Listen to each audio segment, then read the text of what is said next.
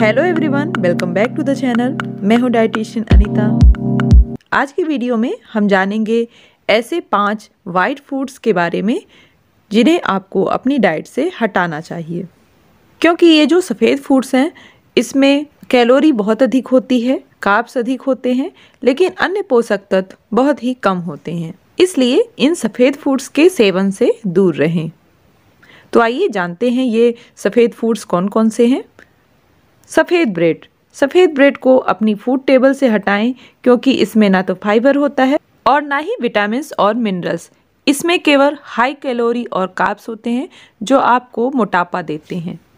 White bread की जगह brown bread या मल्टीग्रेन ब्रेड का सेवन कर सकते हैं। होल ग्रेन ब्रेड में फाइबर्स होते हैं और ये खाने में बहुत ही पौष्टिक होती है और आपके शरीर को फिट रखती है।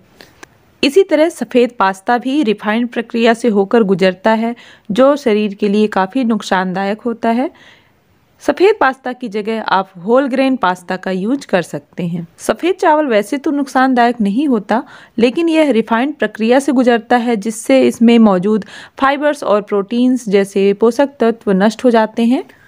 इसलिए जो लोग वेट लॉस करना चाहते हैं, वो सफ़ेद चावल से दूर रहें। वाइट राइस की जगह आप ब्राउन राइस या दूसरे मिलेट्स का यूज़ कर सकते हैं, जिसमें कॉम्प्लेक्स कार्बोहाइड्रेट पाए जाते हैं, जिनकी कैलोरी वैल्यू कम होती है। सफ़ेद चीनी एक सफ़ेद जहर के समान होता है। यह कैलोरी में ज़्यादा और पोषण में ज़ीरो होता है।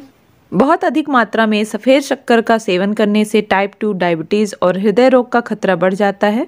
आप चीनी की जगह ब्राउन शुगर शहद या कोकोनट शुगर का यूज़ कर सकते हैं। इसी तरह सफ़ेद नमक का भी अधिक सेवन हमारे शरीर के लिए बहुत ज़्यादा नुकसानदायक है। इससे आपको हृदय रोग, स्ट्रोक, मोटापा और किडनी डिज़ीज़ का खतरा बढ़ जाता है। इसलिए सीमित मात्रा में ही सफ़ेद नमक का इस्तेमाल करें। आप सफ़ेद नमक की जगह हिमालयन पिंक सॉल्ट या दूसरी स्पाइसेस का यूज़ कर सकते हैं। ये कुछ पाँच सफ़ेद चीज़ें थीं जो हमारे शरीर के लिए नुकसानदायक है।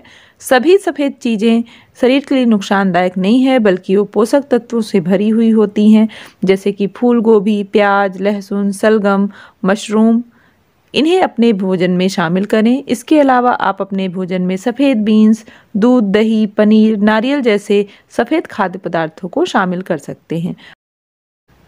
आई होप ये जानकारी आप लोग के लिए यूज़फुल रही हो। इसे लाइक करें शेयर करें और ऐसी ही हेल्दी डाइट और लाइफ से जुड़ी जानकारी के लिए इस चैनल को सब्सक्राइब करें। धन्यवाद।